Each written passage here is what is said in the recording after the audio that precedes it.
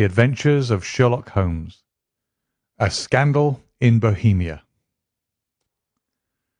To Sherlock Holmes she is always the woman. I have seldom heard him mention her under any other name. In his eyes she eclipses and predominates the whole of her sex. It was not that he felt any emotion akin to love for Irene Adler. All emotions, and that one particularly, were abhorrent to his cold, precise, but admirably balanced mind. He was, I take it, the most perfect reasoning and observing machine that the world has seen. But as a lover he would have placed himself in a false position. He never spoke of the softer passions, save with a gibe and a sneer. They were admirable things for the observer, excellent for drawing the veil from men's motives and actions, but for the trained reasoner to admit such intrusions into his own delicate and finely adjusted temperament was to introduce a distracting factor which might throw a doubt upon all his mental results. Grit in a sensitive instrument, or a crack in one of his own high-power lenses, would not be more disturbing than a strong emotion in a nature such as his. And yet there was but one woman to him, and that woman was the late Irene Adler, of dubious and questionable memory. I had seen little of Holmes lately. My marriage had drifted us away from each other. My own complete happiness and the home-centred interests which rise up around the man who first finds himself master of his own establishment were sufficient to absorb all my attention, while Holmes, who loathed every form of society with his whole Bohemian soul, remained in our lodgings in Baker Street, buried among his old books, and alternating from week to week between cocaine and ambition, the drowsiness of the drug and the fierce energy of his own keen nature. He was still as ever deeply attracted by the study of crime, and occupied his immense faculties and extraordinary powers of observation in following out those clues and clearing up those mysteries which had been abandoned as hopeless by the official police. From time to time I heard some vague account of his doings, of his summons to Odessa in the case of the Trepoff murder, of his clearing up of the singular tragedy of the Atkinson brothers at Trincomalee, and finally of the mission which he had accomplished so delicately and successfully for the reigning family of Holland. Beyond these signs of his activity, however, which I merely shared with all the readers of the daily press, I knew little of my former friend and companion. One night, it was on the 20th of March, 1888, I was returning from a journey to a patient, for I had now returned to civil practice when my way led me through Baker Street. As I passed the well-remembered door, which must always be associated in my mind with my wooing and with the dark incidents of the study in scarlet, I was seized with a keen desire to see Holmes again, and to know how he was employing his extraordinary powers. His rooms were brilliantly lit, and even as I looked up I saw his tall, spare figure pass twice in a dark silhouette against the blind. He was pacing the room swiftly, eagerly, with his head sunk upon his chest and his hands clasped behind him. To me, who knew his every mood and habit, his attitude and manner told their own story. He was at work again. He had risen out of his drug-created dreams and was hot upon the scent of some new problem. I rang the bell and was shown up to the chamber which had formerly been in part of my own. His manner was not effusive. It seldom was. But he was glad, I think, to see me. With hardly a word spoken, but with a kindly eye, he waved me to an armchair, threw across his case of cigars, and indicated a spirit case and a gasogen in the corner. When he stood before the fire and looked me over in his singular introspective fashion. "Wedlock suits you," he remarked. "I think, Watson, that you have put on seven and a half pounds since I saw you." "Seven," I answered. "Indeed. I should have thought a little more, I fancy, Watson. And in practice again, I observe. You did not tell me that you intended to go into harness. Then how do you know?" "I see it. I deduce it. How do I know that you have been getting yourself very wet lately, and that you have a most clumsy and careless servant girl?" "My dear Holmes," said I, "this is too much. You would certainly have been burned had you lived a few centuries ago. It is true that I had a country walk on Thursday and came home in a dreadful mess, but as I have changed my clothes, I can't imagine how you deduce it. As to Mary Jane, she is incorrigible, and my wife has given her notice, but there again I fail to see how you work it out." He chuckled to himself and rubbed his long, nervous hands together. "It is simplicity itself," said he. My eyes tell me that on the inside of your left shoe, just where the firelight strikes it, the leather is scored by six almost parallel cuts. Obviously they have been caused by someone who has very carelessly scraped around the edges of the sole in order to remove crusted mud from it. Hence you see my double deduction that you had been out in vile weather, and that you had a particularly malignant boot-slitting specimen of the London slavey. As to your practice, if a gentleman walks into my rooms smelling of iodoform, with a black mark of nitrate of silver upon his right forefinger, and a bulge on the right side of his top hat to show where he has secreted his stethoscope, I must be dull indeed if I do not pronounce him to be an active member of the medical profession." I could not help laughing at the ease with which he explained his process of deduction. "When I hear you give your reasons," I remarked, the thing always appears to me so ridiculously simple that I could easily do it myself, though at each successive instance of your reasoning I am baffled until you explain your process. And yet I believe that my eyes are as good as yours." "Quite so," he answered, lighting a cigarette and throwing himself down into an armchair. "You see, but you do not observe. The distinction is clear. For example. You have frequently seen the steps which lead up from the hall to this room?" "Frequently." "How often?" "Well, some hundreds of times." "Then how many are there?" "How many? I don't know." "Quite so. You have not observed, and yet you have seen. That is just my point. Now I know that there are seventeen steps because I have both seen and observed. By the way since you are interested in these little problems, and since you are good enough to chronicle one or two of my trifling experiences, you may be interested in this." He threw over a sheet of thick pink-tinted notepaper which had been lying upon the table. "It came by the last post," said he. "Read it aloud." The note was undated, and without either signature or address. "There will call upon you to-night at a quarter to eight o'clock it said, "a gentleman who desires to consult you upon a matter of the very deepest moment. Your recent services to one of the royal houses of Europe have shown that you are one who may safely be trusted with matters which are of an importance which can hardly be exaggerated. This account of you we have from all quarters received.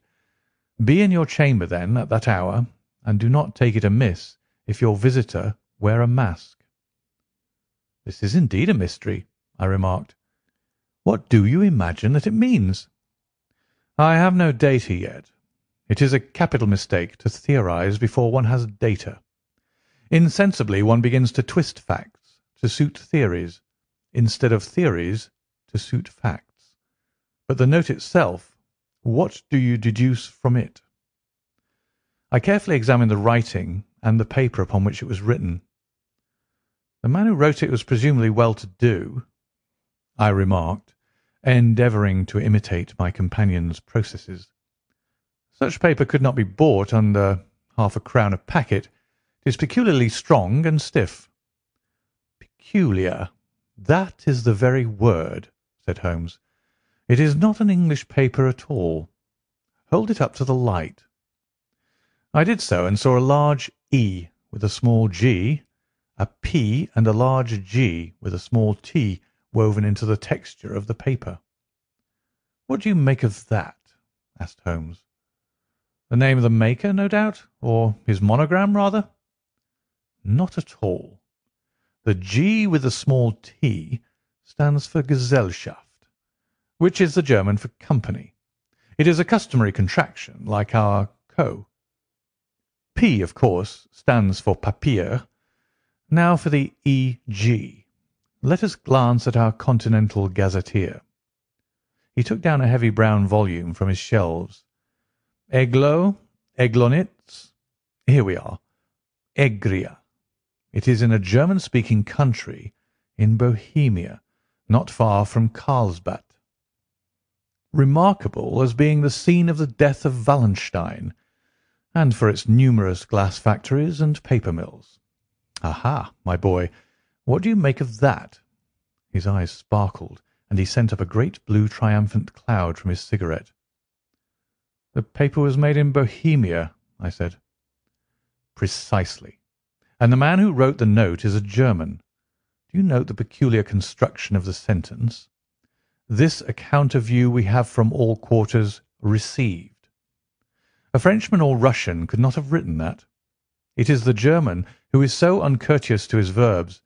It only remains, therefore, to discover what is wanted by this German who writes upon Bohemian paper and prefers wearing a mask to showing his face. And here he comes, if I am not mistaken, to resolve all our doubts. As he spoke there was the sharp sound of horses' hoofs and grating wheels against the curb, followed by a sharp pull at the bell. Holmes whistled. "A pair, by the sound," said he. "Yes," he continued, glancing out of the window. "A nice little brougham, and a pair of beauties. A hundred and fifty guineas apiece. There's money in this case, Watson, if there's nothing else." "I think that I had better go, Holmes. "Not a bit, Doctor. Stay where you are. I am lost without my Boswell, and this promises to be interesting. It would be a pity to miss it. But your client? Never mind him. I may want your help, and so may he. Here he comes. Sit down in that armchair, Doctor, and give us your best attention." A slow and heavy step which had been heard upon the stairs and in the passage paused immediately outside the door. Then there was a loud and authoritative tap. "Come in," said Holmes. A man entered who could hardly have been less than six feet six inches in height, with the chest and limbs of a Hercules.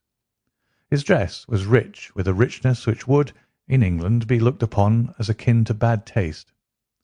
Heavy bands of astrakhan were slashed across the sleeves and fronts of his double-breasted coat, while the deep blue cloak which was thrown over his shoulders was lined with flame-coloured silk and secured at the neck with a brooch which consists of a single flaming beryl. Boots, which extended half-way up his calves, and which were trimmed at the tops with rich brown fur, completed the impression of barbaric opulence which was suggested by his whole appearance. He carried a broad-brimmed hat in his hand, while he wore across the upper part of his face, extending down past the cheek-bones, a black vizard mask, which he had apparently adjusted that very moment, for his hand was still raised to it as he entered. From the lower part of the face he appeared to be a man of strong character, with a thick, hanging lip and a long, straight chin, suggestive of resolution pushed to the length of obstinacy. "You had my note?" he asked with a deep, harsh voice and a strongly marked German accent. I told you that I would call." He looked from one to the other of us as if uncertain which to address. "Pray take a seat," said Holmes. "This is my friend and colleague, Dr. Watson, who is occasionally good enough to help me in my cases. Whom have I the honour to address?" "You may address me as the Count von Kramm, a Bohemian nobleman." "I understand that this gentleman, your friend is a man of honour and discretion, whom I may trust with a matter of most extreme importance. If not, I should much prefer to communicate with you alone." I rose to go, but Holmes caught me by the wrist and pushed me back into my chair. "It is both or none," said he. "You may say before this gentleman anything which you may say to me." The Count shrugged his broad shoulders. "Then I must begin," said he by binding you both to absolute secrecy for two years. At the end of that time the matter will be of no importance.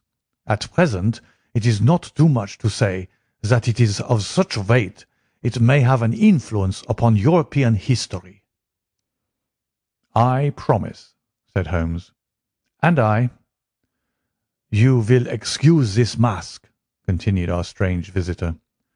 "The august person who employs me wishes his agent to be unknown to you, and I may confess at once that the title by which I have just called myself is not exactly my own."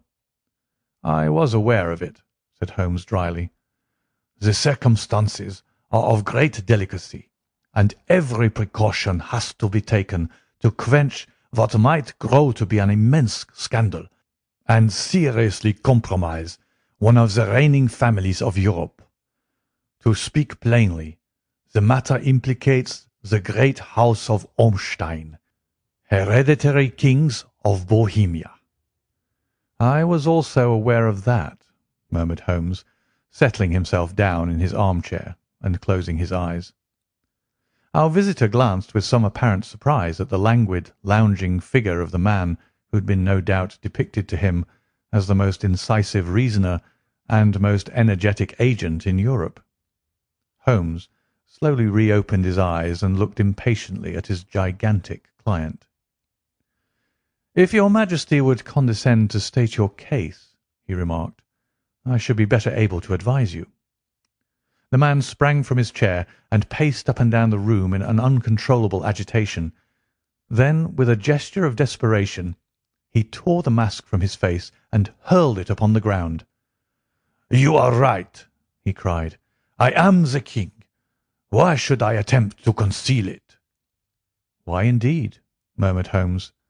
"Your Majesty had not spoken before I was aware that I was addressing Wilhelm Gottsreich Sigismund von Ormstein, Grand Duke of Cassel Felstein and hereditary King of Bohemia."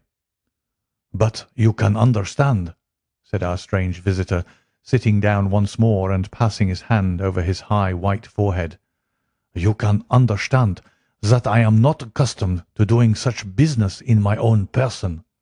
Yet the matter was so delicate that I could not confide it to to an agent without putting myself in his power. I have come incognito from Prague for the purpose of consulting you." "Then pray consult," said Holmes, shutting his eyes once more. "The facts are briefly these. Some five years ago during a lengthy visit to Warsaw, I made the acquaintance of the well-known adventuress Irene Adler. The name is no doubt familiar to you." "Kindly look her up in my index, Doctor," murmured Holmes, without opening his eyes. For many years he had adopted a system of docketing all paragraphs concerning men and things so that it was difficult to name a subject or a person on which he could not at once furnish information. In this case I found her biography sandwiched in between that of a Hebrew rabbi and that of a staff commander who had written a monograph upon the deep-sea fishes. "Let me see," said Holmes. "Hum! Born in New Jersey in the year 1858. Contralto. Hum! La Scala. Hum! Prima donna Imperial Opera of Warsaw. Yes! Retired from operatic stage? Ha! Living in London? Quite so. Your Majesty, as I understand, became entangled with this young person, wrote her some compromising letters, and is now desirous of getting those letters back." "Precisely so. But how?" "Was there a secret marriage?" "None." "No legal papers or certificates?" "None." "Then I fail to follow your Majesty. If this young person should produce her letters for blackmailing or other purposes, how is she to prove their authenticity?" "There is the writing." "Pooh! Forgery." "My private note paper." "Stolen." "My own seal." "Imitated." "My photograph." "Bought." "We were both in the photograph." "Oh, dear! That is very bad. Your Majesty has indeed committed an indiscretion." "I was mad, insane." "You have compromised yourself seriously." "I was only Crown Prince then. I was young. I am but thirty now." "It must be recovered." "We have tried and failed." Your Majesty must pay. It must be bought." "She will not sell." "Stolen, then?" "Five attempts have been made. Twice burglars in my pay ransacked her house. Once we diverted her luggage when she travelled. Twice she has been waylaid. There has been no result." "No sign of it?" "Absolutely none." Holmes laughed. "It is quite a pretty little problem," said he. "But a very serious one to me," returned the King reproachfully. "Very, indeed.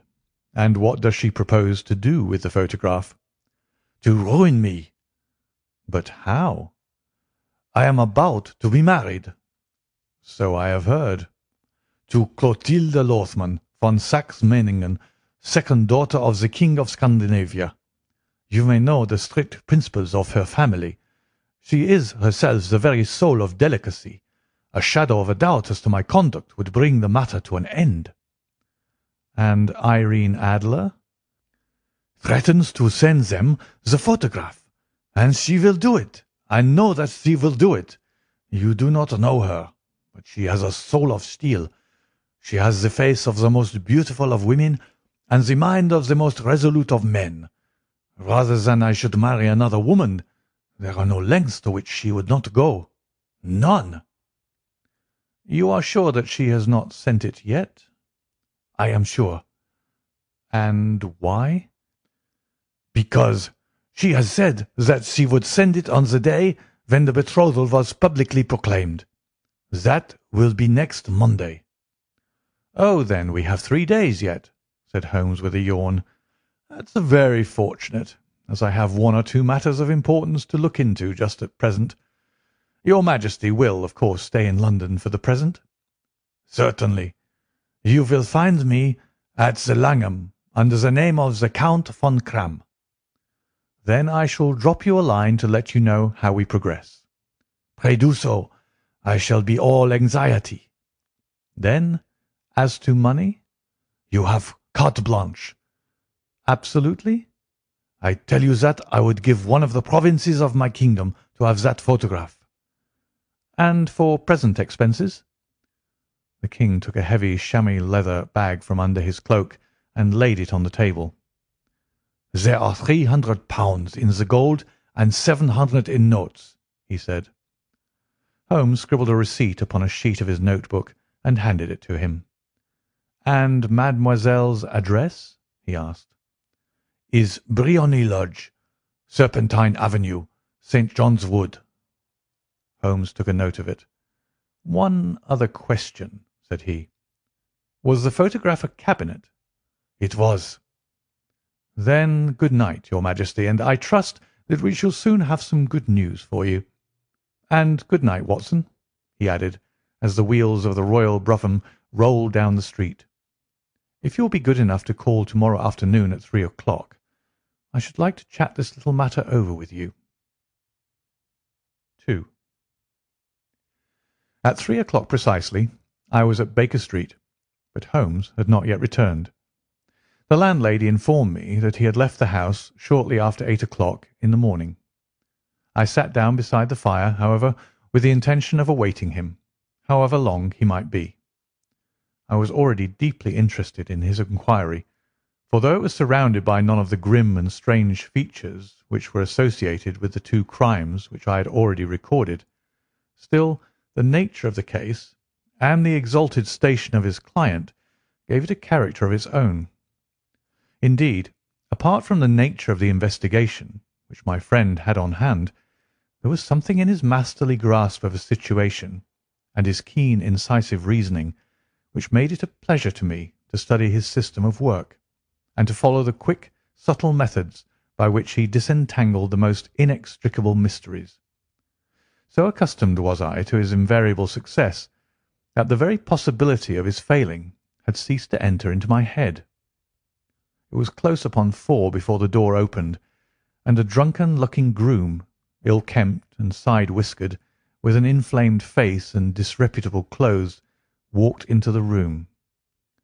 Accustomed as I was to my friend's amazing powers in the use of disguises, I had to look three times before I was certain that it was indeed he. With a nod he vanished into the bedroom, whence he emerged in five minutes, tweed-suited and respectable, as of old. Putting his hands into his pockets, he stretched out his legs in front of the fire and laughed heartily for some minutes. "Well, really!" he cried, and then he choked and laughed again until he was obliged to lie back, limp and helpless, in the chair. "What is it?" "It's quite too funny. I am sure you could never guess how I employed my morning or what I ended by doing." "I can't imagine. I suppose that you have been watching the habits and perhaps the house of Miss Irene Adler." "Quite so. But the sequel was rather unusual. I will tell you, however. I left the house a little after eight o'clock this morning in the character of a groom out of work. There is a wonderful sympathy and freemasonry among horsey men. Be one of them, and you will know all that there is to know. I soon found Briony Lodge. It is a bijou villa with a garden at the back, but built out in front right up to the road, two stories.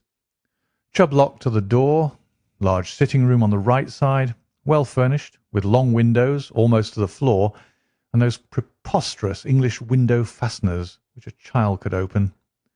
Behind there was nothing remarkable save that the passage window could be reached from the top of the coach house. I walked round it and examined it closely from every point of view, but without noting anything else of interest. I then lounged down the street and found, as I expected, that there was a mews in a lane which runs down by one wall of the garden. I lent the ostlers a hand in rubbing down their horses, and received in exchange twopence, a glass of half and half, two fills of shag tobacco, and as much information as I could desire about Miss Adler, to say nothing of half a dozen other people in the neighbourhood in whom I was not the least interested, but whose biographies I was compelled to listen to. "And what of Irene Adler?" I asked. "Oh, she has turned all the men's heads down in that part. She is the daintiest thing under a bonnet on this planet. So say the Serpentine Mews to a man. She lives quietly, sings at concerts, drives out at five every day, and returns at seven sharp for dinner. Seldom goes out at other times, except when she sings. Has only one male visitor, but a good deal of him. He is dark, handsome, and dashing, never calls less than once a day, and often twice. He is a Mr. Godfrey Norton of the Inner Temple. See the advantages of a cabman as a confidant. They had driven him home a dozen times from Serpentine Mews, and knew all about him. When I had listened to all they had to tell, I began to walk up and down near Briony Lodge once more, and to think over my plan of campaign. This Godfrey Norton was evidently an important factor in the matter. He was a lawyer. That sounded ominous. What was the relation between them, and what the object of his repeated visits? Was she his client? his friend, or his mistress. If the former, she had probably transferred the photograph to his keeping. If the latter, it was less likely. On the issue of this question depended whether I should continue my work at Briony Lodge, or turn my attention to the gentlemen's chambers in the Temple. It was a delicate point, and it widened the field of my inquiry. I fear that I bore you with these details, but I have to let you see my little difficulties if you are to understand the situation." "I am following you closely," I answered. I was still balancing the matter in my mind when a hansom cab drove up to Briony Lodge, and a gentleman sprang out. He was a remarkably handsome man, dark, aquiline, and moustached, evidently the man of whom I had heard. He appeared to be in a great hurry, shouted to the cabman to wait, and brushed past the maid, who opened the door with the air of a man who was thoroughly at home. He was in the house about half an hour, and I could catch glimpses of him in the windows of the sitting room, pacing up and down, talking excitedly, and waving his arms.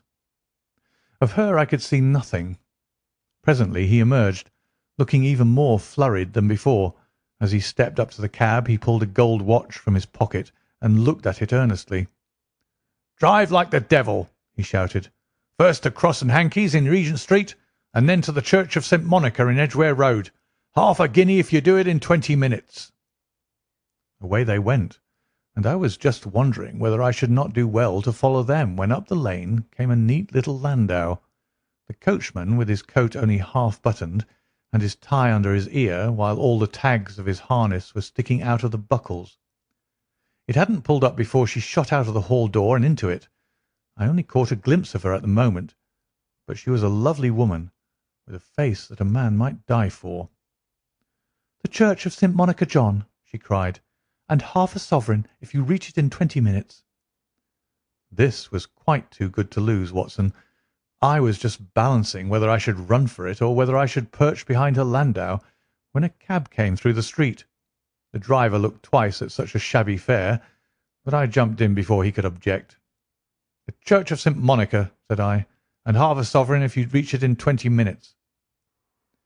It was twenty-five minutes to twelve, and of course it was clear enough what was in the wind. My cabby drove fast. I don't think I ever drove faster, but the others were there before us. The cab and the landau with their steaming horses were in front of the door when I arrived. I paid the man and hurried into the church. There was not a soul there save the two whom I had followed and a surpliced clergyman who seemed to be expostulating with them. They were all three standing in a knot in front of the altar. I lounged up the side aisle like any other idler who has dropped into a church. Suddenly, to my surprise, the three at the altar faced round to me and Godfrey Norton came running as hard as he could towards me. "Thank God!" he cried. "You'll do. Come, come!" "What then?" I asked. "Come, man, come! Only three minutes, or it won't be legal." I was half dragged up to the altar, and before I knew where I was I found myself mumbling responses which were whispered in my ear, and vouching for things of which I knew nothing, and generally assisting in the secure tying up of Irene Adler, spinster, to Godfrey Norton, bachelor. It was all done in an instant, and there was the gentleman thanking me on the one side, and the lady on the other, while the clergyman beamed on me in front. It was the most preposterous position in which I have ever found myself in my life, and it was the thought of it that started me laughing just now. It seems that there had been some informality about their licence, that the clergyman absolutely refused to marry them without a witness of some sort, and that my lucky appearance saved the bridegroom from having to sally out into the streets in search of a best man. The bride gave me a sovereign, and I mean to wear it on my watch chain in memory of the occasion." "This is a very unexpected turn of affairs," said I. "And what then?" "Well, I found my plans were seriously menaced. It looked as if the pair might take an immediate departure, and so necessitate very prompt and energetic measures on my part. At the church door, however, they separated, he driving back to the Temple, and she to her own house. "I shall drive out in the park at five as usual," she said as she left him. I heard no more. They drove away in different directions, and I went off to make my own arrangements. "Which are?" "Some cold beef and a glass of beer," he answered, ringing the bell. "I have been too busy to think of food, and I am likely to be busier still this evening. By the way, Doctor, I shall want your co operation." "I shall be delighted. You don't mind breaking the law?" "Not in the least." "Nor running a chance of arrest?" "Not in a good cause." "Oh, the cause is excellent." "Then I am your man. I was sure that I might rely on you. But what is it you wish?" "When Mrs. Turner has brought in the tray I will make it clear to you. Now," he said, as he turned hungrily on the simple fare that our landlady had provided, "I must discuss it while I eat for I have not much time. It is nearly five now. In two hours we must be on the scene of action. Miss Irene, or Madam, rather, returns from her drive at seven. We must be at Briony Lodge to meet her." "And what then?" "You must leave that to me. I have already arranged what is to occur. There is only one point on which I must insist. You must not interfere. Come what may, you understand?" I am to be neutral?" "To do nothing whatever." There will probably be some small unpleasantness. Do not join in it. It will end in my being conveyed into the house. Four or five minutes afterwards the sitting-room window will open. You are to station yourself close to that open window. Yes. You are to watch me, for I will be visible to you. Yes. And when I raise my hand, so, you will throw into the room what I give you to throw, and will, at the same time, raise the cry of fire. You quite follow me?" "Entirely." "It is nothing very formidable," he said, taking a long cigar-shaped roll from his pocket. "It is an ordinary plumber's smoke rocket, fitted with a cap at either end to make it self-lighting. Your task is confined to that. When you raise your cry of fire it will be taken up by quite a number of people. You may then walk to the end of the street, and I will rejoin you in ten minutes. I hope that I have made myself clear. I am to remain neutral, to get near the window, to watch you, and at the signal to throw in this object, then to raise the cry of fire, and to wait you at the corner of the street." "Precisely." "Then you may entirely rely on me." "That is excellent. I think, perhaps, it is almost time that I prepare for the new role I have to play." He disappeared into his bedroom and returned in a few minutes in the character of an amiable and simple-minded Nonconformist clergyman. His broad black hat, his baggy trousers, his white tie, his sympathetic smile, and general look of peering and benevolent curiosity were such as Mr. John Hare alone could have equalled. It was not merely that Holmes changed his costume. His expression, his manner, his very soul seemed to vary with every fresh part that he assumed. The stage lost a fine actor, even as science lost an acute reasoner when he became a specialist in crime. It was a quarter past six when we left Baker Street, and it still wanted ten minutes to the hour when we found ourselves in Serpentine Avenue. It was already dusk, and the lamps were just being lighted as we paced up and down in front of Briony Lodge, waiting for the coming of its occupant. The house was just such as I had pictured it from Sherlock Holmes' succinct description, but the locality appeared to be less private than I expected. On the contrary, for a small street in a quiet neighbourhood, it was remarkably animated. There was a group of shabbily dressed men smoking and laughing in a corner, a scissors grinder with his wheel, two guardsmen who were flirting with a nurse girl, and several well-dressed young men who were lounging up and down with cigars in their mouths. "You see," remarked Holmes, as we paced to and fro in front of the house, "this marriage rather simplifies matters. The photograph becomes a double-edged weapon now. The chances are that she would be as averse to its being seen by Mr. Godfrey Norton as our client is to its coming to the eyes of his princess. Now the question is, where are we to find the photograph?" "Where, indeed?" "It is most unlikely that she carries it about with her. It is cabinet size, too large for easy concealment about a woman's dress. She knows that the King is capable of having her waylaid and searched. Two attempts of the sort have already been made. We may take it, then, that she does not carry it about with her. Where, then? Her banker or her lawyer. There is that double possibility. But I am inclined to think neither. Women are naturally secretive, and they like to do their own secreting. Why should she hand it over to anyone else? She could trust her own guardianship, but she could not tell what indirect or political influence might be brought to bear upon a business man. Besides, remember that she had resolved to use it within a few days. It must be where she can lay her hands upon it. It must be in her own house. But it has twice been burgled. They do not know how to look." "But how will you look?" "I will not look." "What then?" "I will get her to show me." "But she will refuse." "She will not be able to. But I hear the rumble of wheels. It is her carriage. Now carry out my orders to the letter." As he spoke the gleam of the side lights of a carriage came round the curve of the avenue. It was a smart little landau which rattled up to the door of Briony Lodge.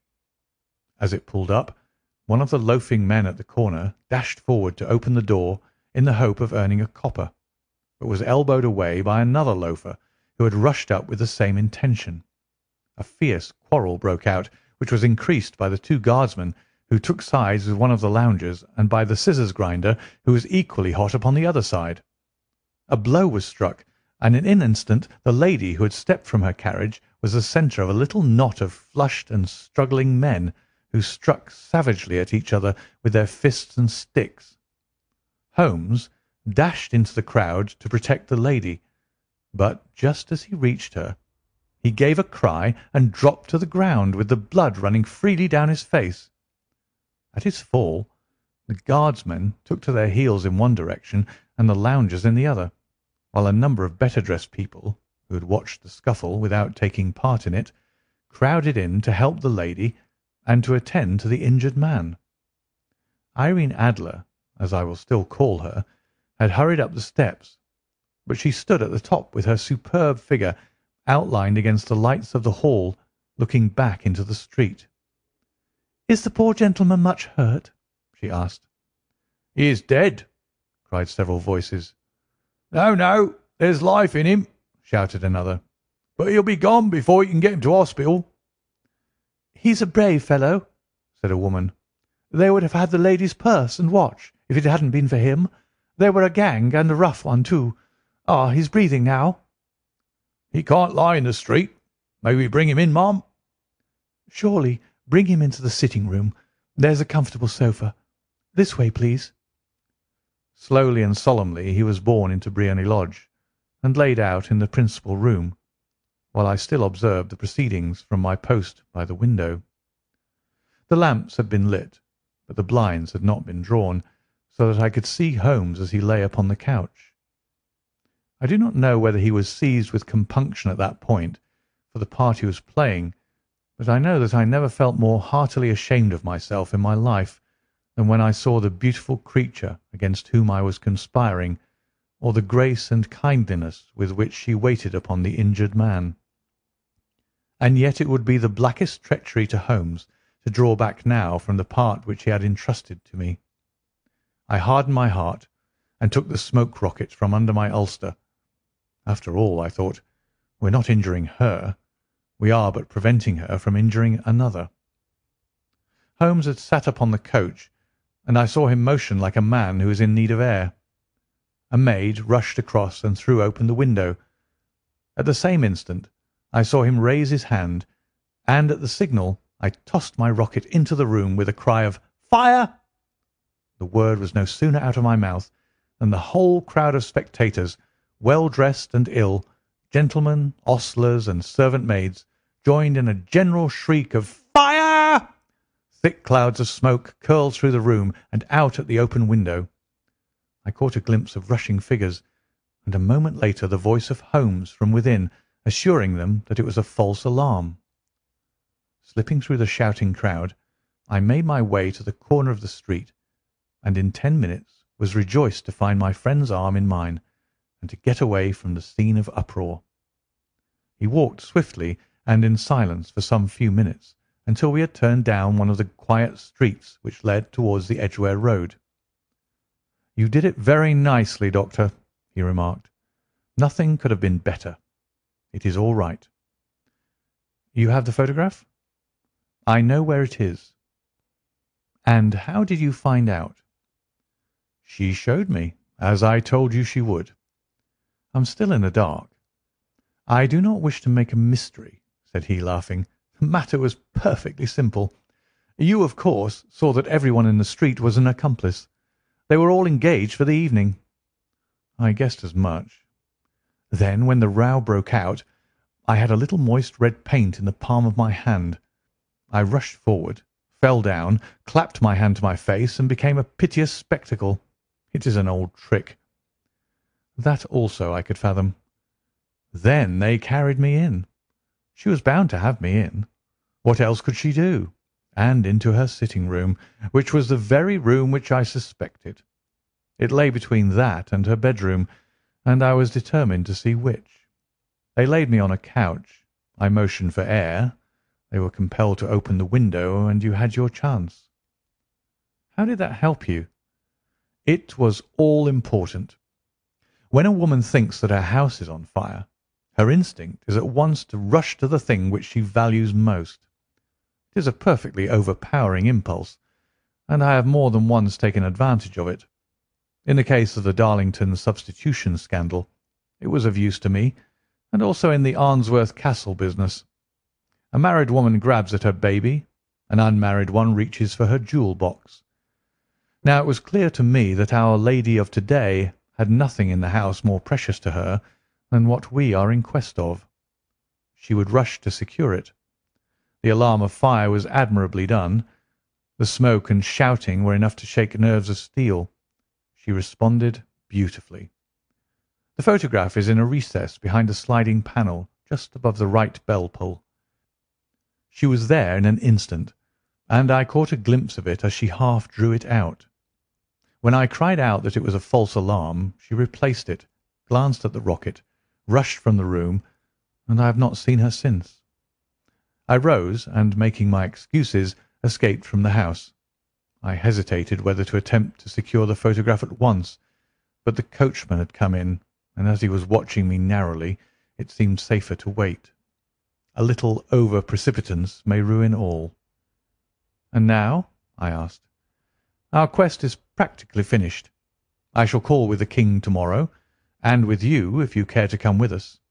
We will be shown into the sitting room to wait for the lady, but it is probable that when she comes she may find neither of us nor the photograph. It might be a satisfaction to his Majesty to regain it with his own hands." "And when will you call?" "At eight in the morning. She will not be up, so that we shall have a clear field.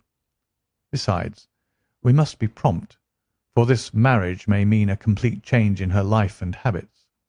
I must wire to the King without delay." We had reached Baker Street, and had stopped at the door. He was searching his pockets for the key when someone passing said, "Good night, Mr. Sherlock Holmes." There were several people on the pavement at the time, but the greeting appeared to come from a slim youth in an ulster who had hurried by. "I've heard that voice before," said Holmes staring down the dimly lit street. Now I wonder who the deuce that could have been. 3. I slept at Baker Street that night, and we were engaged upon our toast and coffee in the morning when the King of Bohemia rushed into the room. "You have really got it?" he cried, grasping Sherlock Holmes by either shoulder and looking eagerly into his face. "Not yet." "But you have hopes?" "I have hopes." "Then come. I am all impatience to be gone." "We must have a cab." "No, my brougham is waiting." "Then that will simplify matters." We descended and started off once more for Briony Lodge. "Irene Adler is married," remarked Holmes. "Married? When?" "Yesterday." "But to whom?" "To an English lawyer named Norton. "But she could not love him?" "I am in hopes that she does." "And why in hopes?" "Because it would spare your Majesty all fear of future annoyance. If the lady loves her husband, she does not love your Majesty. If she does not love your Majesty, then there is no reason why she should interfere with your Majesty's plan." "It is true, and yet, well, I wish she had been of my own station. What a queen she would have made! He relapsed into a moody silence, which was not broken until we drew up in Serpentine Avenue. The door of Briony Lodge was open, and an elderly woman stood upon the steps. She watched us with a sardonic eye as we stepped from the brougham. "Mr. Sherlock Holmes, I believe," said she. "I am Mr. Holmes," answered my companion, looking at her with a questioning and rather startled gaze. "Indeed! My mistress told me that you were likely to call. She left this morning with her husband by the 5.15 train from Charing Cross for the Continent." "What!" Sherlock Holmes staggered back, white with chagrin and surprise. "Do you mean that she has left England?" "Never to return." "And the papers?" asked the King hoarsely. "All is lost." "We shall see." He pushed past the servant and rushed into the drawing room followed by the King and myself. The furniture was scattered about in every direction, with dismantled shelves and open drawers, as if the lady had hurriedly ransacked them before her flight. Holmes rushed at the bell pull, tore back a small sliding shutter, and, plunging in his hand, pulled out a photograph and a letter. The photograph was of Irene Adler herself in evening dress. The letter was superscribed to Sherlock Holmes, Esquire, to be left till called for. My friend tore it open, and we all three read it together. It was dated at midnight of the preceding night, and ran in this way: "My dear Mr. Sherlock Holmes, You really did it very well. You took me in completely. Until after the alarm of fire I had not a suspicion. But then, when I found how I had betrayed myself, I began to think. I had been warned against you months ago. I had been told that if the King employed an agent it would certainly be you, and your address had been given to me. Yet with all this you made me reveal what you wanted to know. Even after I became suspicious I found it hard to think evil of such a dear, kind old clergyman. But you know I have been trained as an actress myself. Male costume is nothing new to me. I often take advantage of the freedom which it gives. I sent John the coachman to watch you, ran upstairs, got into my walking clothes, as I call them, and came down just as you departed. Well, I followed you to your door, and so made sure that I was really an object of interest to the celebrated Mr. Sherlock Holmes. Then I rather imprudently wished you good night, and started for the Temple to see my husband. We both thought the best resource was flight, when pursued by so formidable an antagonist, so you will find the nest empty when you call to morrow. As to the photograph, your client may rest in peace. I love and am loved by a better man than he. The King may do what he will without hindrance from one whom he has cruelly wronged. I keep it only to safeguard myself, and to preserve a weapon which will always secure me from any steps which he might take in the future. I leave a photograph which he might care to possess, and I remain, dear Mr. Sherlock Holmes, very truly yours, Irene Norton, née Adler. "What a woman! Oh, what a woman!" cried the King of Bohemia, when we had all three read this epistle. "Did I not tell you how quick and resolute she was? Would she not have made an admirable queen? Is it not a pity that she was not on my level?" "From what I have seen of the lady she seems, indeed, to be on a very different level to your Majesty," said Holmes coldly. I am sorry that I have not been able to bring your Majesty's business to a more successful conclusion." "On the contrary, my dear sir," cried the King, "nothing could be more successful. I know that her word is inviolate. The photograph is now as safe as if it were in the fire." "I am glad to hear your Majesty say so." "I am immensely indebted to you. Pray tell me in what way I can reward you. This ring?" He slipped an emerald snake ring from his finger and held it out upon the palm of his hand. "Your Majesty has something which I should value even more highly," said Holmes. "You have but to name it." "This photograph." The King stared at him in amazement. "Irene's photograph?" he cried. "Certainly, if you wish it. "I thank you, your Majesty. Then there is no more to be done in the matter. I have the honour to wish you a very good morning." He bowed, and turning away without observing the hand which the King had stretched out to him, he set off in my company for his chambers. And that was how a great scandal threatened to affect the kingdom of Bohemia, and how the best plans of Mr. Sherlock Holmes were beaten by a woman's wit. He used to make merry over the cleverness of women, but I have not heard him do it of late, and when he speaks of Irene Adler, or when he refers to her photograph, it is always under the honourable title of the woman.